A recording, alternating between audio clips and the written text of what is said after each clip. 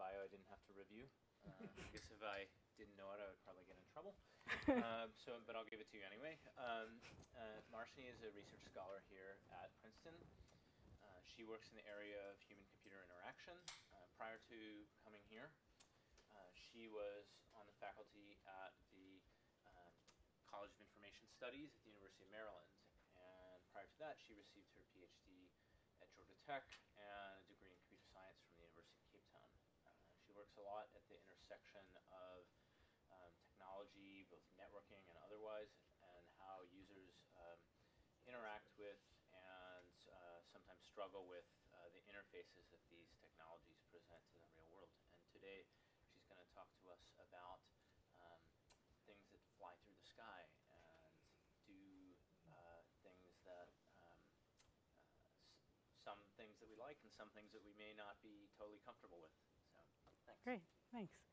Um, okay, so he won't be getting in trouble. but um, yeah, thanks for having me to talk about drones today. So I thought, um, like any good talk should, we should probably start off with um, some Lady Gaga. Um, so let's see if we can get it going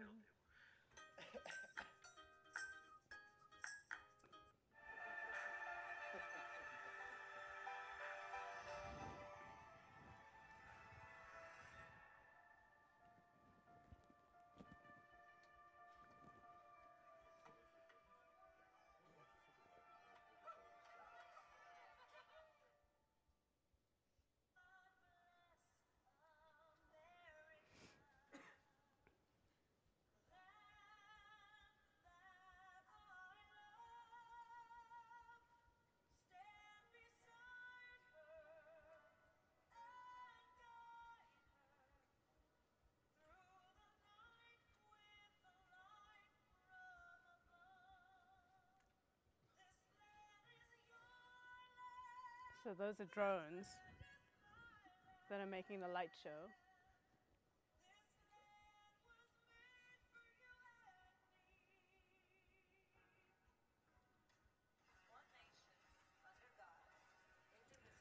Okay, that's probably enough Lady Gaga for one talk. Um, if I can stop it. Okay. So, um, oops.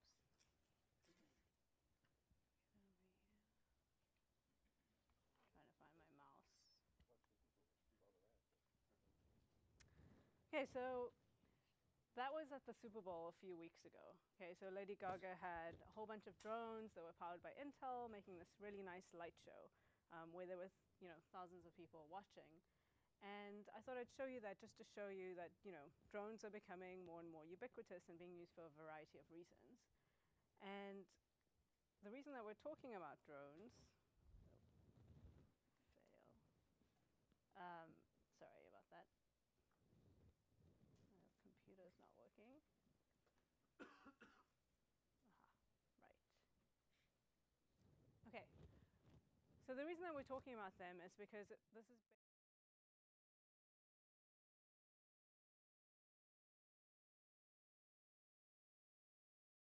usage of drones is uh, going to increase to tens of billions of dollars in the next decade. Like from the Lady Gaga video, you saw that it's an unmanned aerial vehicle and or aerial system. And what we're mostly going to be speaking about in this talk is what's called a small UAS or small unmanned aerial vehicle. These are drones that are very small in size. They're up to 55 pounds or 25 kilograms and they have a varying flight time, some from just a few minutes to about half an hour, or just under half an hour. And they're remote controlled. They can have basically autonomous or pre-programmed flight. They're also varying in size. So here is a little toy drone. This is called a Crazyflie. It can fit probably in the palm of my hand. And some of the larger drones can be about this big or even larger if they have to carry a package. And they're used for various different things. Um, we saw Lady Gaga, drones are being used for light.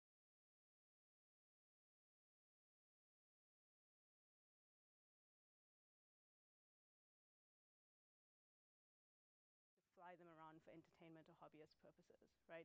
Drones can be um, flown to remote locations and take remote footage, so people like using them for different purposes.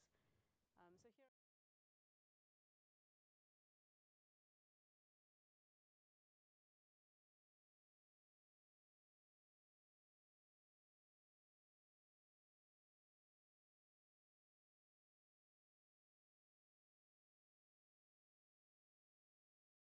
in Dubai who are trying to think about using drones as so actually to carry people. Why do we care about drones and privacy and security? Well, it turns out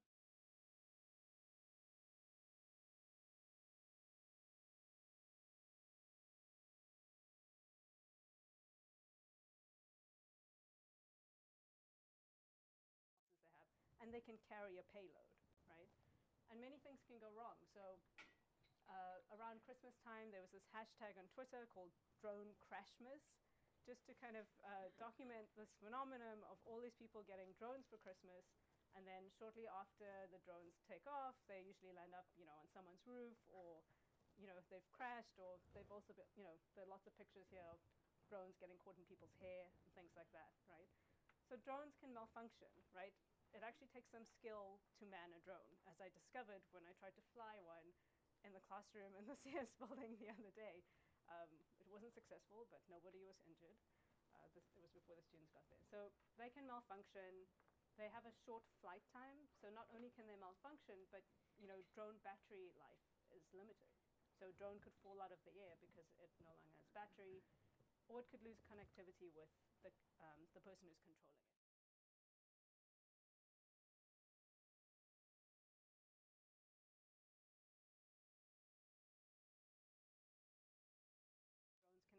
Into spaces where they may not be wanted and record data about people, but they can also actually injure people. So clearly you're thinking, well, surely there's some regulation to prevent all of this. It turns out the Federal Aviation Agency,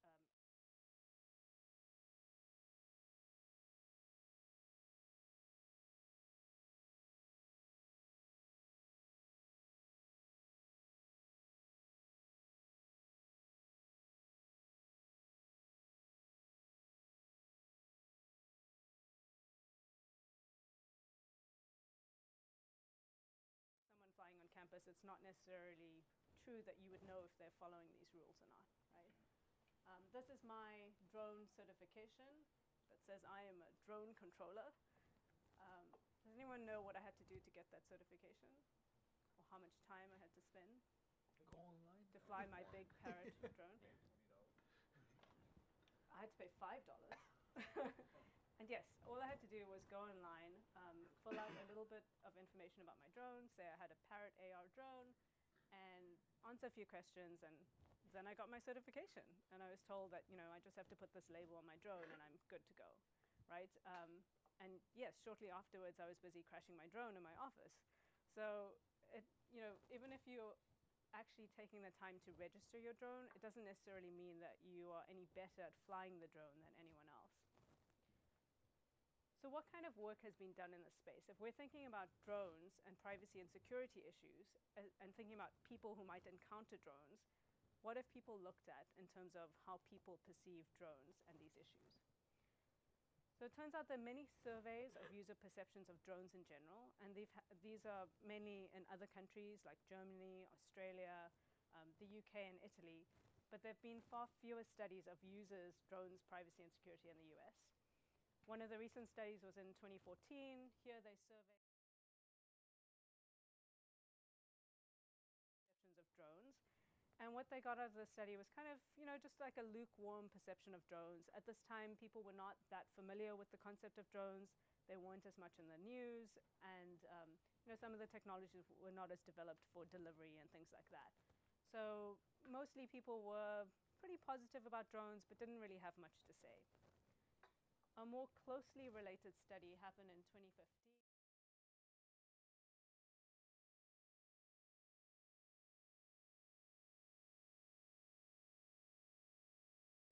um, recruit people and then show them their drone, which was a DJI drone. and basically then ask them a series of questions about specific scenarios of drone usage, right? And they found that um, people had many concerns about the drones being privacy invasive and so on.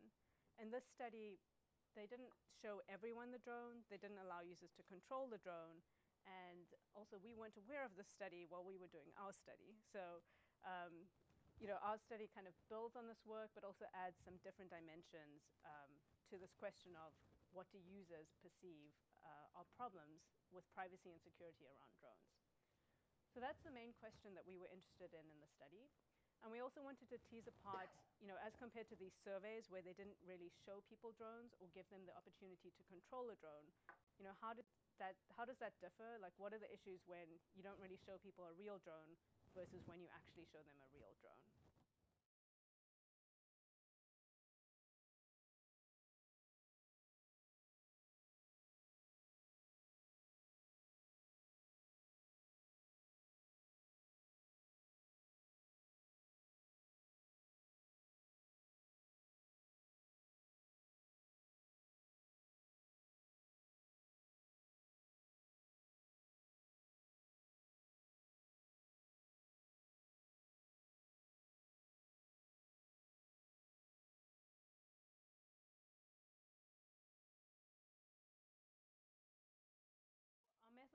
To recruit um, 20 users. This happened at the University of Maryland at College Park last year between March and May. And most of the people who participate in this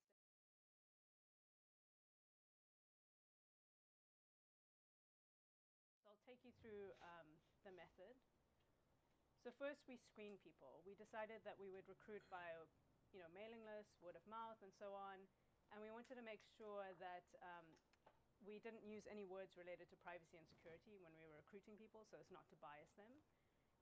We also asked um, users generally about their privacy and security habits, so we included a bunch of uh, privacy and security related scales in this pre-screener. And then finally, because we wanted people to come in and interact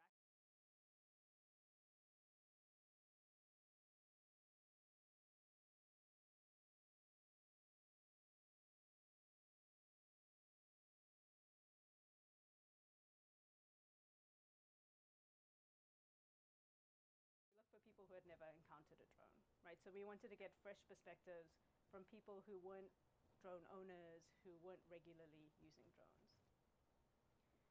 Next, people came in and they participated.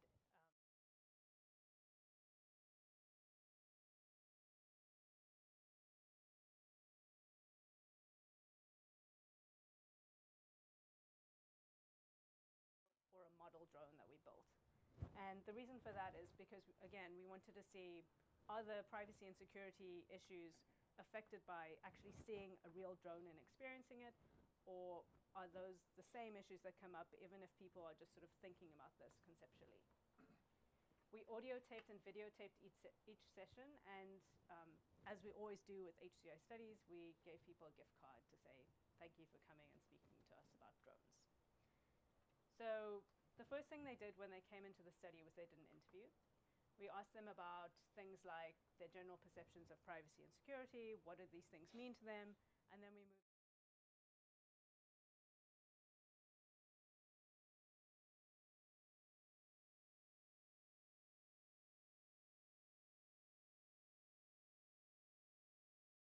It, um, and that was before we showed them the drone. And then finally, we had uh, one of the students showed her drone registration from the FAA. And we had people discuss this and annotate it to see, you know, what kinds of things were they okay with and what did they want changed. In this talk, I'm only mostly going to speak about the things that came out of this part of the study, um, but I won't be talking about the sketches and the registration, just in the interest of time. So here's kind of what our drone looked like. Um, the Parrot AR drone that's it hovering.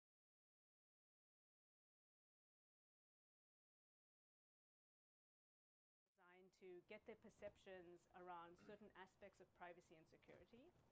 I'll go through each one in turn. So the first thing was we wanted to get people's um, perception of drone, you know, around what the drone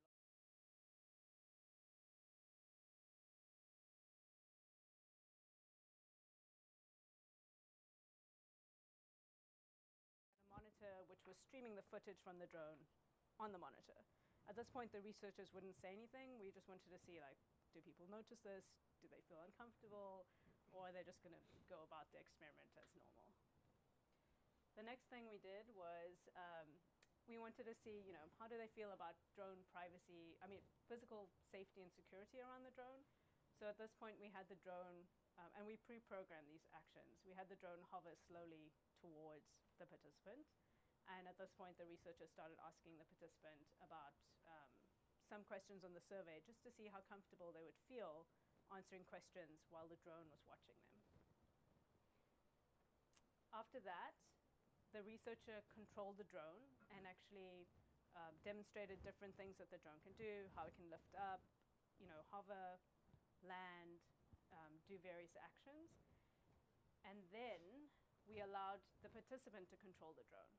So again, here, um, a drone's flight can be a little bit erratic. So we pre-programmed the drone with a series of actions, and we just allowed the participant to press a button to perform these actions because we didn't want them to crash the drone or injure anyone, like themselves, the researchers, or damage anything in the room. So this is kind of what our very rudimentary interface looked like. People just came up, um, they could say lift off. This would then illuminate, and then they would just go through each um, button, and here are the actions that the drone did.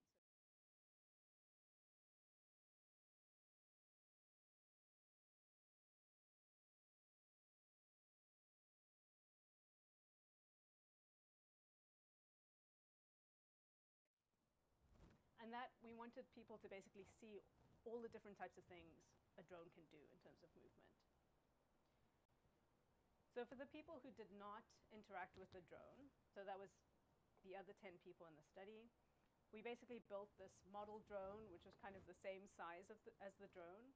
And essentially, we had them do all the same tasks, but instead of the real drone, our facilitator moved the drone to mimic the movements of the real drone. So it would still inch towards the person. Um, obviously, when the person came in, they didn't see footage of themselves on the monitor.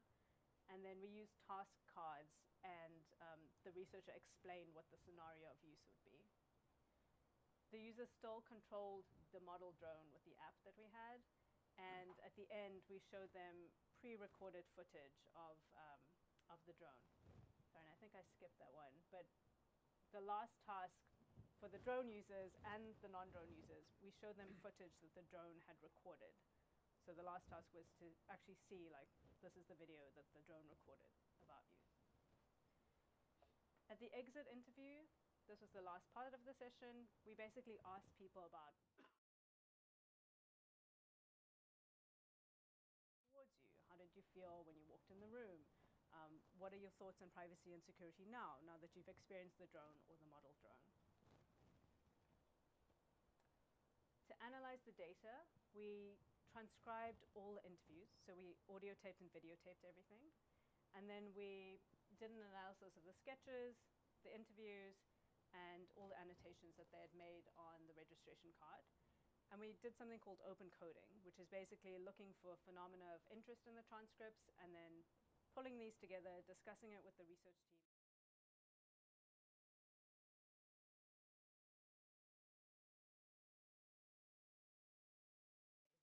in May of this year. Okay, so who actually ended up in the study? So we had 10 people per group. In the drones,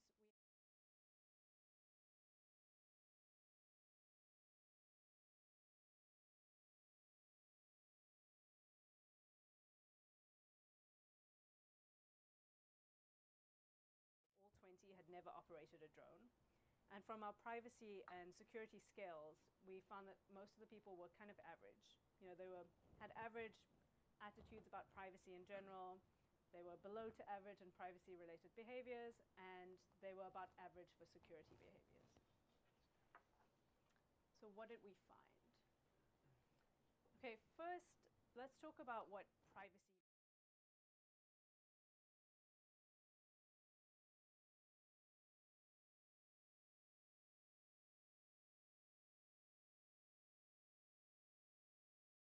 having it only go to the person that you're trying to send it to. Here's an example quote, and I'm, I'm showing these.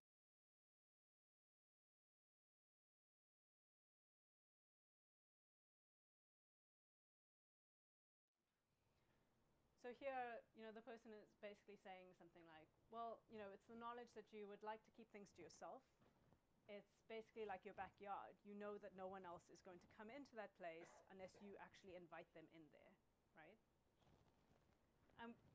Generally, people said the same thing about security. So again, knowing that you have a boundary around your property, you know that that's keeping you or giving you some measure of security. So what about drones' privacy and security?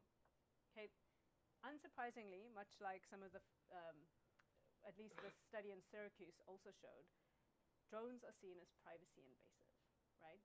Most people talked about things like drones are, you know, the drone feels like it's spying on me. It feels like it's watching me. Um, they use terms like that. People were also concerned about the drone recording them without them giving consent for the recording. And then finally, even before seeing the drone, people is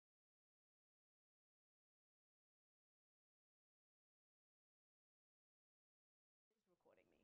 What is the feedback that I get to say this drone is recording me and how do I even know if there's a drone in my vicinity? So here are some examples of the types of things people said. maybe you want to record some stars or spy on people, right? So this came up again and again, like, oh, maybe people are going to use them to, you know, spy on famous people. Someone else said, you know, you can put up a wall.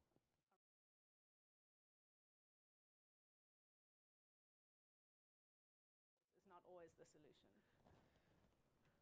Um, other people had privacy concerns because they said you can't really see where if it can actually see into your window, or you don't know if the camera is actually pointing somewhere else. In terms of security, people were really worried about drones damaging or injuring things. Um, so people talked about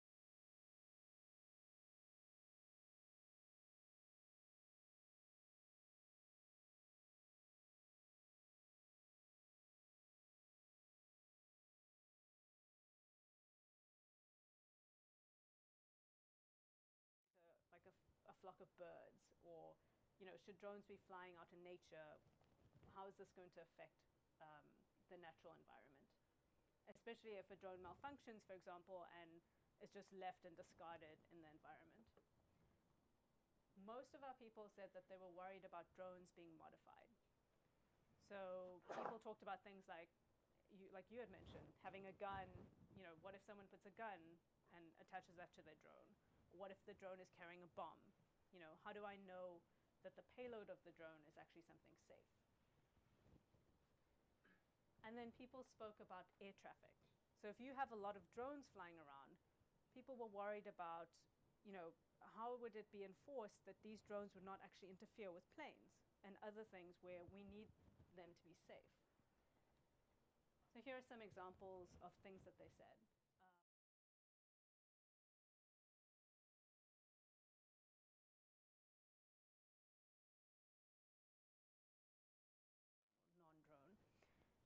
So here, this person said, look, I assume they have blades, and you know they could kind of just you know hurt people, and you know what if they're getting in random accidents and they're flying too close to people? That wouldn't be great. Um, here's something else that people said, you know, again, I'm worried about air traffic safety.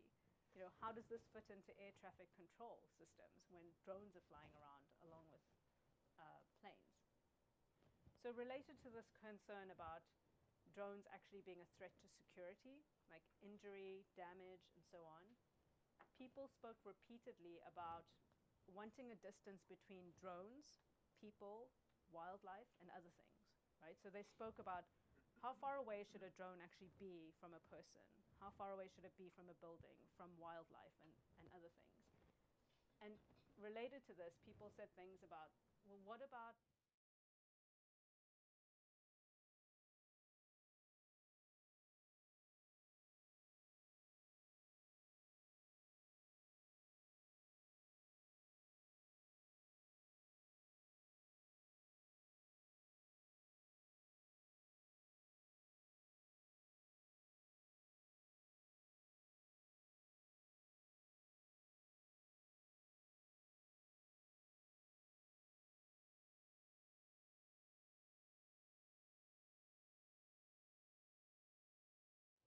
this could be really creepy and also very dangerous.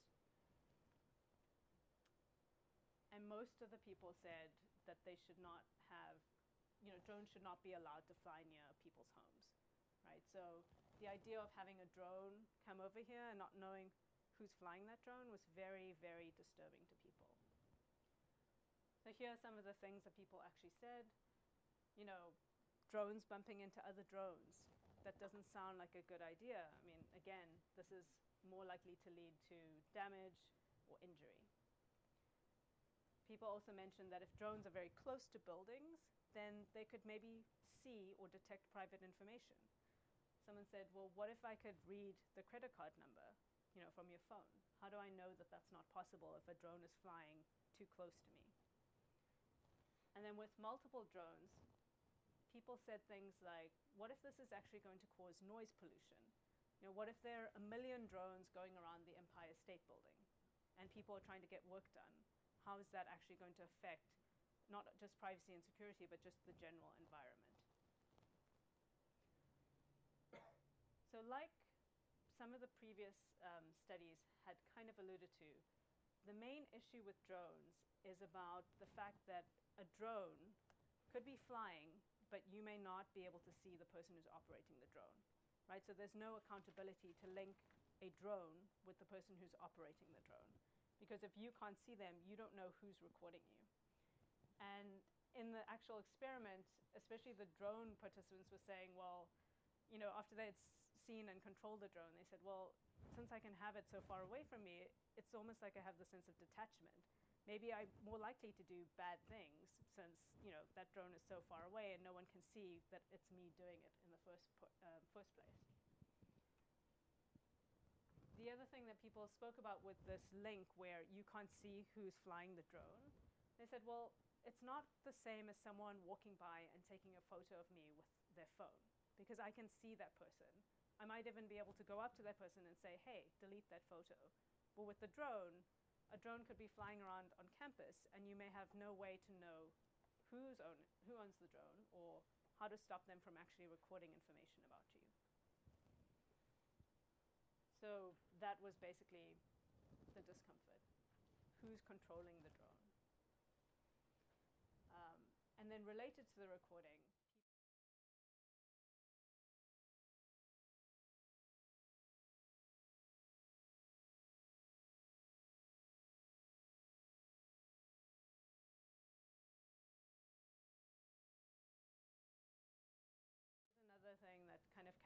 especially with multiple drones.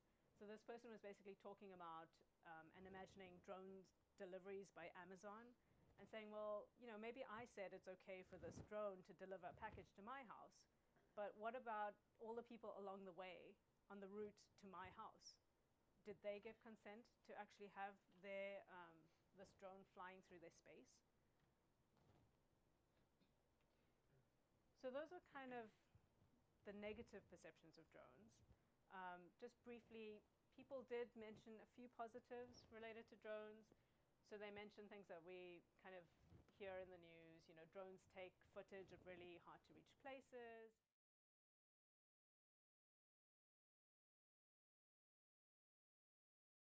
But those things were much less pronounced, especially after people interacted with the drone or model drone and actually saw how big the drone was. Okay, so it's about time for another video. Um, so what came out of our study, and this was especially since we compared people who saw a drone to people who didn't, was that the actual drone itself really affects how people feel about privacy and security.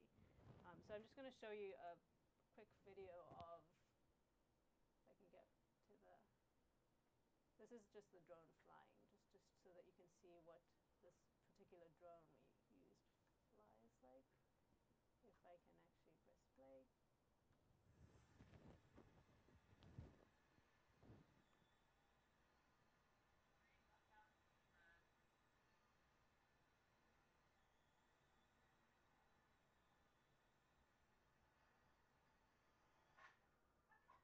Yeah, but it was working. Uh, yeah. Um, okay, that's usually how it ends. But so you can see that the drone is kind of it. I mean, you can't hear it so much there, but it's quite loud actually. it makes quite a large sound, uh, um, loud sound. And again, you can't see it in this video, but it actually produces a lot of wind. So if the drone was hovering next to me, you'd probably see my sweater actually fluttering and so on. It produces quite a bit of wind. Um, and the other thing is, um, it's, those movements were pretty smooth, but it can also be quite erratic. Um, one person in the study described it as it almost looked like a boxer, you know, kind of darting to and fro um, because it's not quite stable. So I'm just going to talk about okay, when people saw the drone flying, what, what kinds of things did they say? Um, and this is the drone people, but also the people who saw the model drone. Um, the people who saw the drone were more likely to say, it seems threatening, it's kind of scary, it's loud, it's noisy, it seems unfriendly. And they compared it to things like, this reminds me of the Terminator, it reminds me of military. You know, it, the drone itself is very, it's black and sleek, so all of these things made people say that this seemed like something that was kind of threatening to them. And this particularly came out in the people who saw the drone versus the, the people who saw the model. People commented on the color. They said, you know, the fact that it's black and sleek, again, it evokes images of military purposes. Um, for them, they said maybe colorful logos or colors would help them to look more friendly, and it would also help them to identify perhaps who owns the drone. So maybe if you saw like Amazon colors on a drone, you'd know, okay, that's an Amazon Prime drone. Um, both the non-drone and drone people commented on the drone size. So a lot of people were quite surprised when they saw the drone because the drone itself is probably about this big, but with the guard, it's about this large. So it's quite a bit larger than people had imagined. Um, and people mentioned things like, okay, with regards to privacy and security, size can be a problem. Like something that's like this small, you know, this could be a problem because it can get into spaces that it shouldn't be in, right? So that, what if it's spying on me by flying through like pipes in the building or something to get in and film me somehow, right? And then when people thought about bigger drones, they worried again about the payload. Can this drone conceal a weapon? Can it conceal a bomb? And then the sound.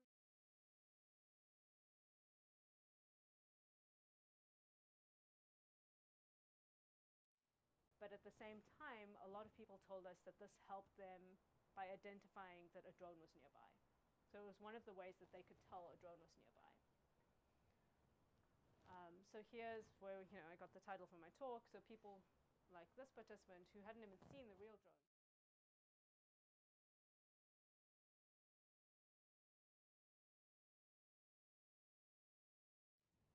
Um, here's one of the people who gave us an example of they were at a wedding in Seattle and they heard this annoying sound and they were trying to figure out like what is the sound? What is the sound? And then they realized it was actually a drone like filming the wedding right? So again here people said the sound is actually a good thing in some ways because it's a privacy enhanced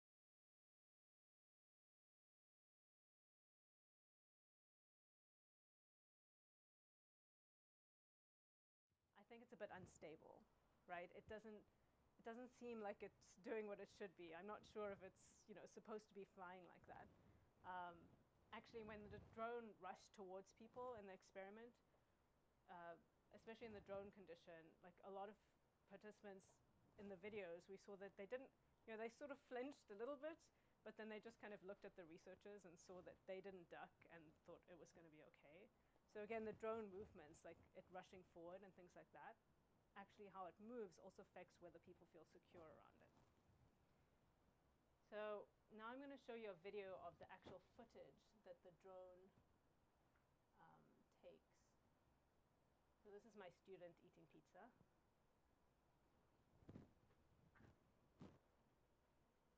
So this is a video from the drone. Doing studies is hard work.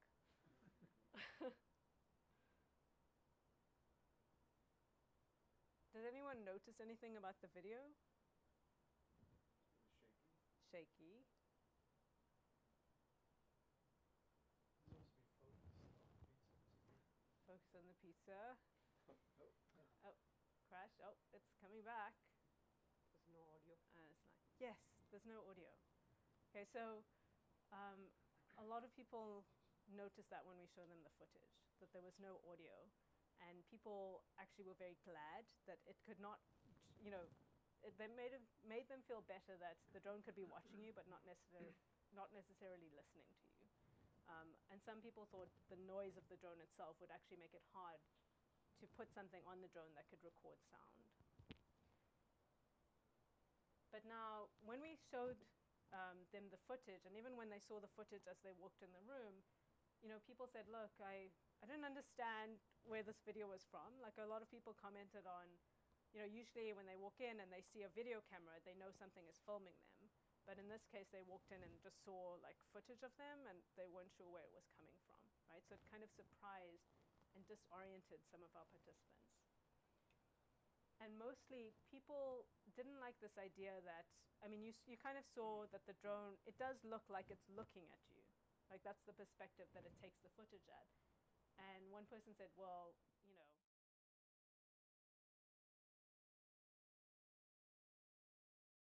it's not clear where the camera location is. I don't know what it's pointing at. I don't know how it's recording me. And that's kind of creepy, right? I don't know if it really is looking in the window when it's hovering outside or how exactly the footage looks like. Um, related to that, people also said that it was very scary that the drone data is so easy to access.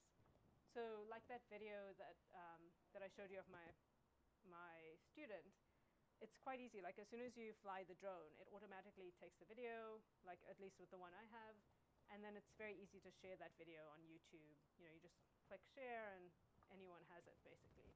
Um, so I did a bit of searching just to show you some more creepy drone videos. Um, so here's another creepy drone video. Actually, let's start it from the beginning because it's this just shows you. Okay, so this is a video from the drone. Probably this person did not follow the FAA rules. This does not look too far out. But um, actually, you could see there was another drone in there as well. But I mean, you can see you can you can have pretty fine detail. Like the cameras on some of these drones are really good, right? Um, so you know, this is a drone flying around, and then basically, yeah, yeah, and you can see it. You know, the drone carries on flying, and then it flies uh, flies over some boats and so on. But yeah, so the camera is it's pretty good on the drone. By the way, current law says you may not fly over people, period. Yes, yeah. So you're not supposed to, but people do it anyways because it's very hard to enforce the current law. Except there's evidence that. Yes, that is evidence, but you have to link the drone owner to the evidence. Yes. So someone should find that person and tell them they broke the law. Just Um, for those in the room who might have drones. Yes. Okay. but um, so one of the things about the camera resolution that people kept on mentioning was that you know, um, yeah, even though you're not supposed to fly over certain things or close to certain things, um, what if you can zoom with the camera, right? What if you're flying near the White House or Mar-a-Lago or somewhere, and you can zoom in and you can see what's going on, basically, right? So they were really concerned about the actual resolution of the camera. And they were also worried about, you know, how this was actually being regulated. You know, the data from the drone is really easy um, to get, and people were concerned about where is this data being stored, who has access to it, um, what if the data transmission is intercepted, right? Okay, so that kind of wraps up the kinds of things that came out of the study. What does this all mean, right? What are some of the implications of this um, now that we know a bit more about what people are concerned about? Okay, so the first thing was definitely.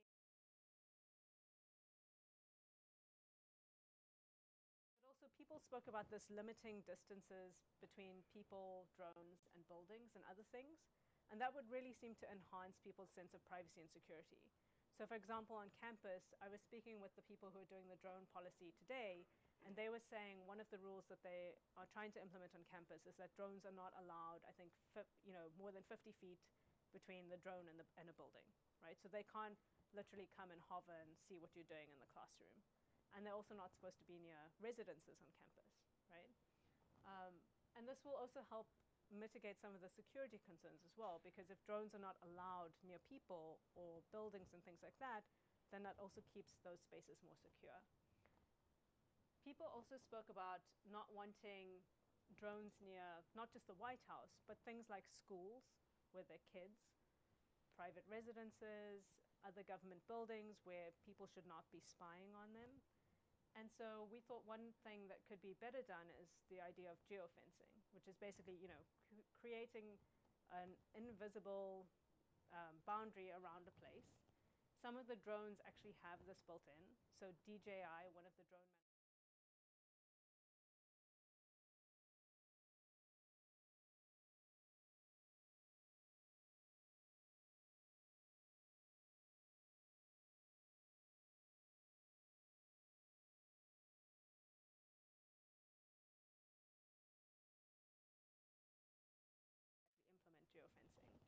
But what if we could use other existing infrastructures like Wi-Fi networks or something like that to help create boundaries so that drones are not allowed near buildings?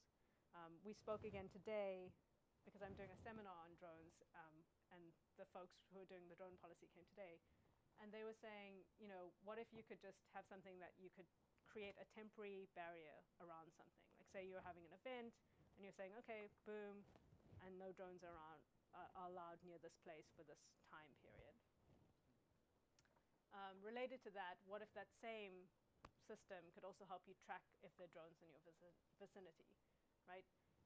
The idea behind tracking is that if you can track which drones are in a vicinity, then you can um, have better accountability because then you can actually see um, who might be flying a drone, if they're actually authorized, for example, to fly on campus, and you could link the drone to the drone owner if something goes wrong, right?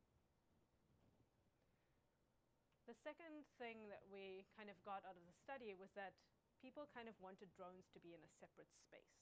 Like if they thought about multiple drones, like in the Lady Gaga scenario, or if Amazon Prime becomes a reality, they were thinking more along the lines of drone highways, right? Where drones have a designated space, you know that's a drone space, and it's not just that drones are flying any which way to make a delivery over other people's property and things like that to their homes.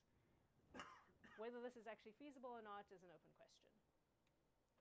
And then finally, the actual design of the drone can clearly make a big difference in terms of how people perceive the drone, right? If you have a colorful drone um, that looks very friendly, people might be more likely to approach it. Perhaps you don't want that and you want to make your drone look unfriendly, right? These are some things you can still play around with. Um, color, shape, visual identifiers can also help people, again, link the drone to the drone controller. Here on campus, one of the ways they want to help people identify an authorized drone controller is they're giving drone controllers this bright yellow vest. So if you see someone operating a drone and they don't have their bright yellow vest, um, they should also have a card from campus saying that they are authorized. Um, then you know they're not supposed to be flying a drone or they're not doing it legally at least. So these are some things that are still open questions, like how do you actually help people identify who owns a drone?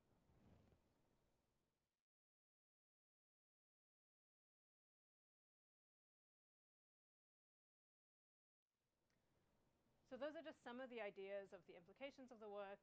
Obviously, there's some limitations of our work. Um, this was mostly done with students and people who worked at the University of Maryland. It was a small sample. We did this indoors, so maybe people might have felt slightly differently if we had done this outdoors. Um, and also, you know, for future work, um, we're looking at doing things like maybe addressing campus-specific issues, and then building better feedback so that people know when a drone is recording, if drones are in their vicinity, and how to actually link drone drone encounterers with drone owners. Okay, so that's pretty much all I have for the talk, and I'm happy to answer questions about the study or whatever I know about drones. Thanks.